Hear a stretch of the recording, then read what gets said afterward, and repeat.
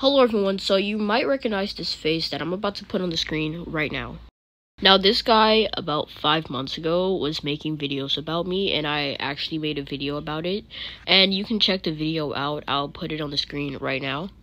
Since I made that video, he has never responded back to me until today. So I just woke up in the morning and I was checking my mentions on YouTube and I saw that video. And you guys may be asking why I'm in MM2 right now. I just did not know where else to uh, film this video. But anyways, we'll be watching this video right now and see what he has to say. I already watched it, so I'm about to put it on the screen.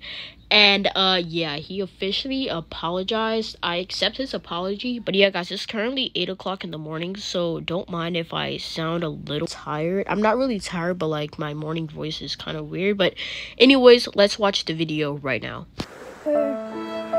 Recognize me, Vlogs. I'm sorry for all these days. Or month, I don't know. But I'm gonna apologize to you now.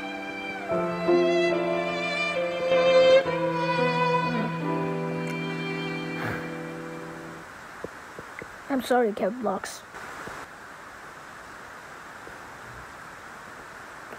Hopefully, you'll see this message.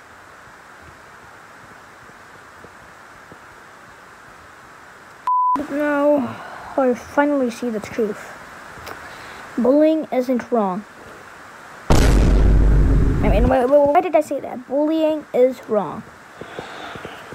Like, for example, bully me? You know what? Bye. This this video is gonna end. Alright, so after that clip, I don't really know what to say, but I accept his apology. Yes, he said all that rude things, but like at least he apologized. Even though it took him almost five months, it's uh, I, it's still good. I didn't really I was not really mad about it then, but uh, yeah, if you see this video, I accept your apology. I also wanted to thank you guys for the support recently.